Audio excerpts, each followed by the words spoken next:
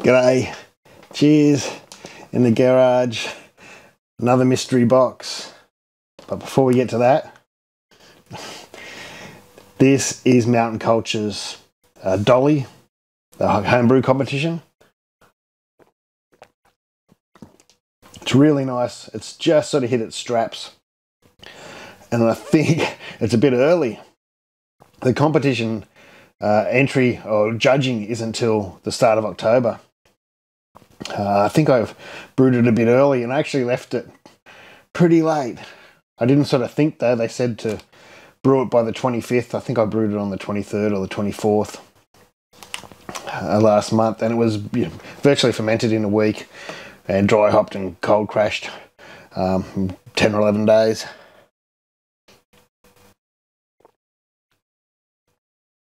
And it's really nice. It was a bit rough at first, as usual. You expect a lot of hops in it, but it settled down real quick. It's been in the keg about a week, and uh, it's really nice now.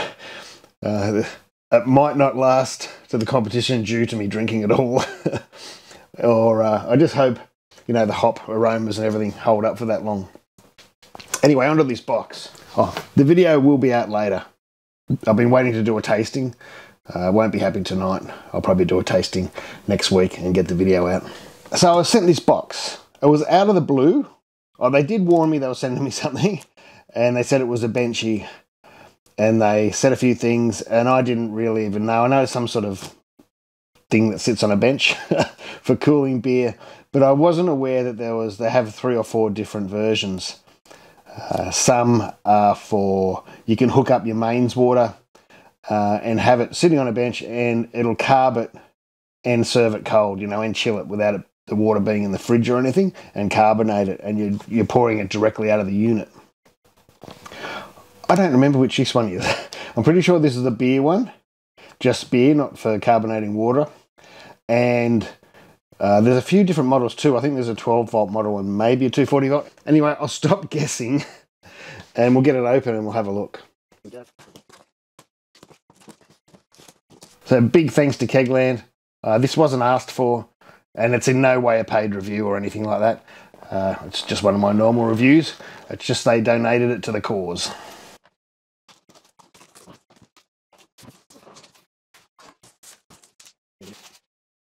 Wow, they're a lot larger than I thought. How am I going to get this out? I didn't realise it's one of them boxes.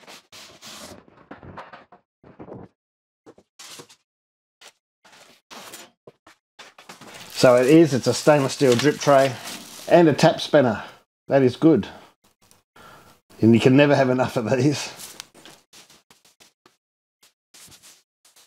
This is a nice looking unit. This is the stainless version, obviously. You can get uh, what I'm assuming is maybe a plastic or black steel version. When I say black steel, it might be coated. Don't quote me on that. This this is something that, you know, if you had a bar, you wouldn't mind showing off. You know, some of these sort of benchtop units can be a bit ugly. This is looks very nice. Sturdy, solid. This runs on 240 volt, I can see at the back here. And this is the Chiller G20. I don't think that's the model number though. The model number is KL18203. I'm not sure I mentioned earlier it runs on glycol. So you do have a glycol tank in here, but that's what allows you to chill the beer down quick.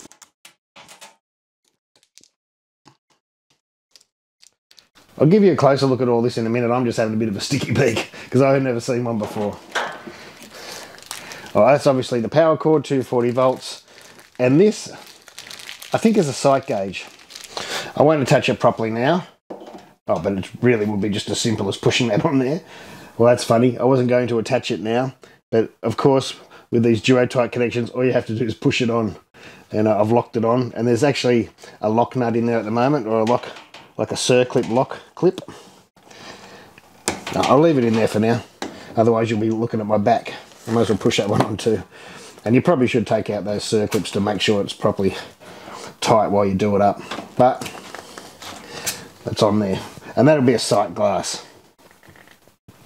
And it's probably good they made it out of that because if it was glass and you had this on a bar or in a festival situation or something, yeah, much safer than a piece of glass or a, even a piece of perspex that could crack or something.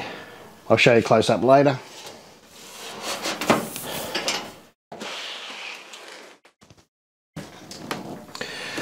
So there's a temperature controller, power, power switch, two beer line ins, and you attach the taps here. They did actually send another box, which I haven't looked in yet either. I'll go and grab it.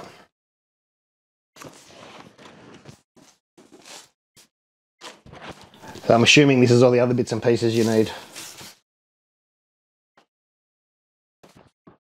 it's so shiny the camera auto adjusted and put me in the dark.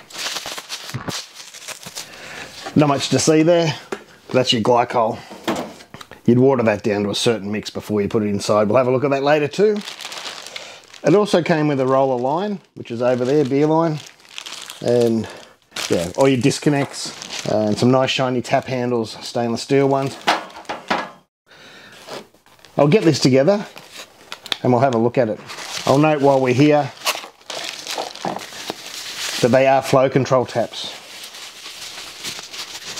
And the reason they'll give you flow control taps is because you could probably have varying lengths of line at festivals and thing. Also, you might use uh, different gas. You might be using beer gas and you have to up the pressure or something like that. Uh, so it would be good to have the flow control option there. I would guess the other reason is too, if your beer is warm, if you haven't got it in some sort of, uh, even a little bit of cooling, then it's going to take a higher pressure to keep it carbonated. Uh, so you might be pushing it at higher pressure and that's where your flow control taps will really help. So that'll do for this part of the video. I've got two fermenters here with what's left of two brews I've done recently and I've let them come up to room temperature after cold crash and they've been sitting out here for a couple of days so they're at room temperature now which has got to be around 25 degrees it's quite warm out here tonight uh, for winter in Melbourne and I thought I'd rather use those than pull out one of my kegs out of my kegerator and bring it out here and let it warm up I want my kegs in there especially because it's a competition beer so I'm not going to bring that out here and let it warm up uh, overnight and stuff that's staying in the fridge for the competition but I have got these two fermenters here to use and that's what I'm going to do so I'll set it up get it running, uh, and then we'll pump some warm beer through and see if it comes out cold. Cheers. For such a great looking unit, it's a little bit unfortunate I got one with a bit of a dodgy world clean up there on the corner. Of course it's not going to affect the operation or anything. Sometimes when you get these flow control taps, there's a little shuttle that sits in the end there and it can just sort of fall out. If you need to put it back in, you put it back in like that with the cage sticking up. They sent a few springs for the taps. The spring's going pretty easy. You make sure the little end sort of sits on the end of the shuttle there and the bigger end goes in first. So you just place the spring in there. Make sure it's sitting in there correctly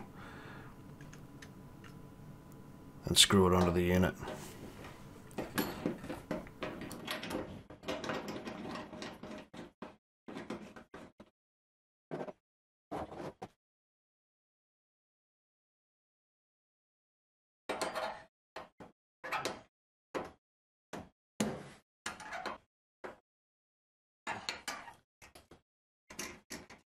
not right.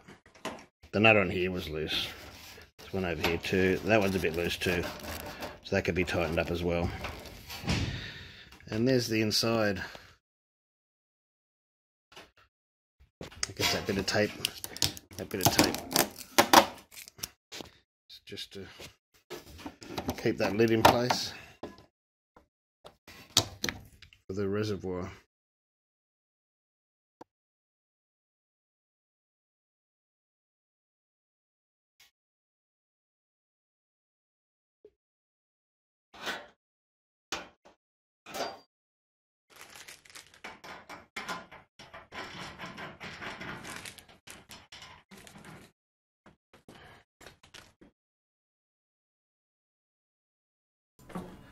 Today for this test, I'm just filling it up with water. You can run with water, but you can't set the reservoir to under 2 degrees, just in case it freezes. If you're using the glycol, you can go much lower. You can see there the water on the sight glass. I lost count of how many jugs I put in. I must have been around 12 to 15 litres.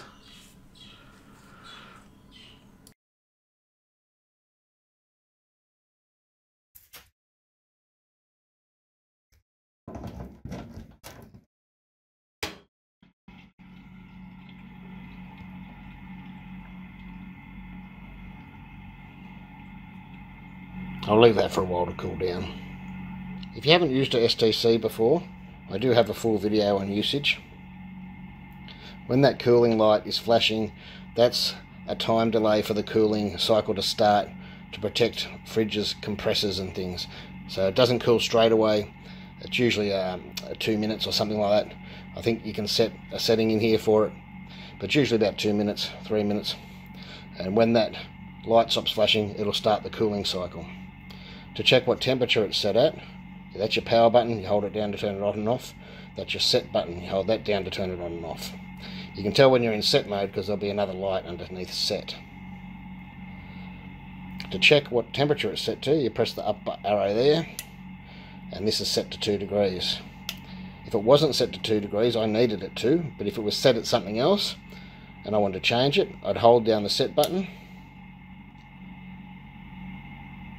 Now we're in set mode, F1, hold down the set button again because F1 is the temperature.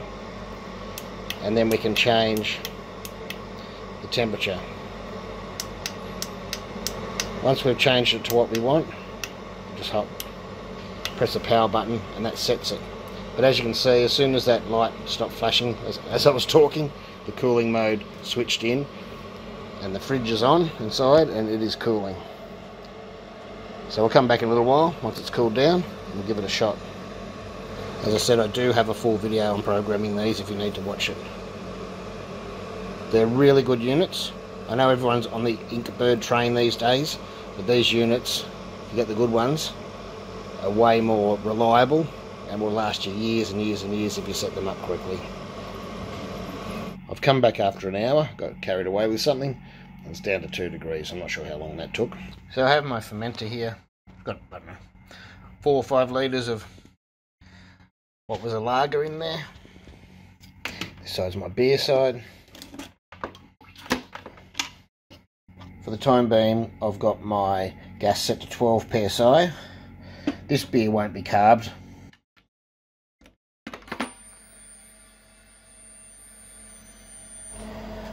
there was two noises and the gas going in and the refrigeration units kicked in again. So I just ran some initial beer through the line.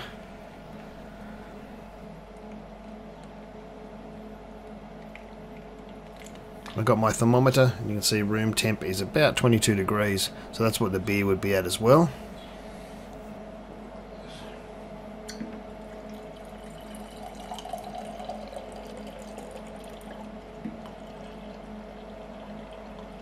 So I poured the first beer, and this beer isn't carbed, but that's coming out at normal speed. That's about 12 psi there. And then I fumbled around with the thermometer, so I sped it up because you couldn't see it. My hand was in the way. And it was about 3.8 to 4 degrees. That's pretty degrees. good. That's for the first pour. It's cold. So I took another two pours. So I poured another couple. This isn't cut, these three beers I pour. And they continue to come out at about 3 degrees. Or just under. 3, 2 point, well yeah it was 2 point something then, 3. Now the reservoir is only set to 2. When you use glycol, you can, of course you can go colder, but that's coming out at 3. That's working well. Good. That's room temperature down there. It's probably 20 odd degrees today. And it's coming out 3 degrees. Uncut, and I'll pour another one just to show if it keeps up. As I said earlier, you'd have to test a little bit and find out what pressure you need to pour at.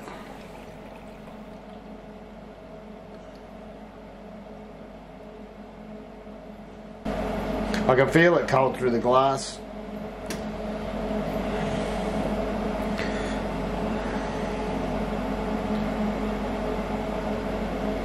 Yeah, three degrees. So it's coming out into the glass. Oh, it's a little bit under three degrees. So that works really well. And that tap there is so cold. My taps inside don't get that cold. And that's just using water at two degrees. Of course, if you use glycol, you can set it much lower and get your beer to coming out under zero if you like. I'm not sure why you'd want it that cold, but some people do like it. Summer's day, goes into your glass cold, takes longer to warm up, I guess. There's a lot of tests and different things that are in the instructions, which I didn't go through today, leak tests and things like that. But it's a very basic setup and it works really well. It's a beautiful looking unit. So that's about it for today. I just wanted to have a quick look at it and set it up. A big thanks goes out to Kegland for supplying the unit. As I said, this isn't a paid review. These are just my thoughts. Uh, I really like it. Weddings, festivals, parties, things like that. This is a commercial grade unit, so they ain't the cheapest thing you're ever going to buy, but it works. Thanks for watching. Thanks to my patrons. Like and subscribe and share if you like the video. One day I'll get that right. Thanks for watching. Thanks, patrons. I'll see you in the next one. Ah, ah. Before I go, what I should have added is what is good about this sight gauge. You might think, why would they build a sight gauge like that? Well, it's not just a sight gauge. If you want to empty your reservoir, first you'll have to take off these blue retaining circlip things. If I can get it off. I haven't got any fingernails. There we go. They're just a retaining clip, like a locking clip. Now I'm going to get stuff everywhere here, but it's only water this time. If I use one of these tools, or you could use a screwdriver or something, get in between there. Uh oh, it's going to come out now. But it's you can drain your reservoir. Oh, that was a good catch. That's very handy because these are heavy units. You don't want to have to be picking it up to drain it. I'll drain this later. Cheers.